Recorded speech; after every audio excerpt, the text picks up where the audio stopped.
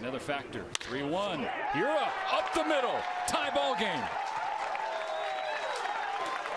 Really good piece of hitting there. He knew exactly what he was trying to do. Didn't do too much.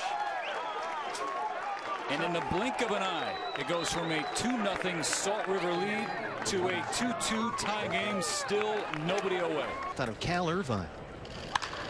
And Hiura bangs one into center field. Marzilli over to cut it off. Wilson scores from third.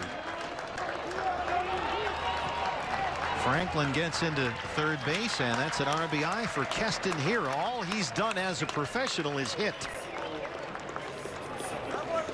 An RBI single takes second on the throw. Yeah, he hit the ball hard his first time up in this game. A hard ground ball to shortstop for an out. This time he finds that gap in right center field. Got a pitch up and out over the plate. Stayed right on it. Drive home the fourth run of the game for the Brewers.